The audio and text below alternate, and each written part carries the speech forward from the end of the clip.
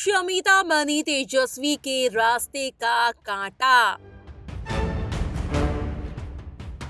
क्या है पूरी अपडेट? चलिए हम आपको बताते हैं।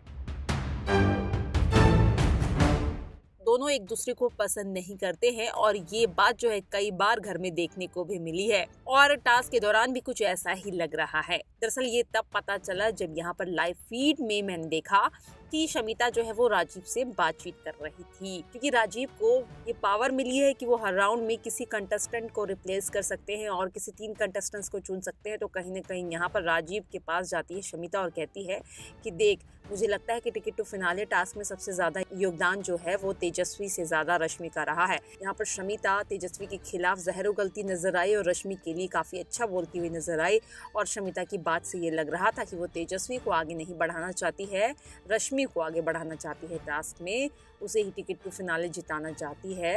राजीव बोलते, देख, सबका अपना अपना मानना है शमिता। मेरा मानना ये है कि टिकट टू फिनाले टास्क में जो है तेजस्वी का सबसे ज़्यादा योगदान है तो मैं उसी को सपोर्ट करूँगा, चाहे कोई भी कुछ भी बोले। उसके बाद शमिता की बोलती बंद हो जाती है। वेल अब ये देखना काफ़ी ज़्यादा दिलचस्प होगा। कि यहाँ पर क्या तेजस्वी को टिकट टू फिनाले का टिकट मिलता है?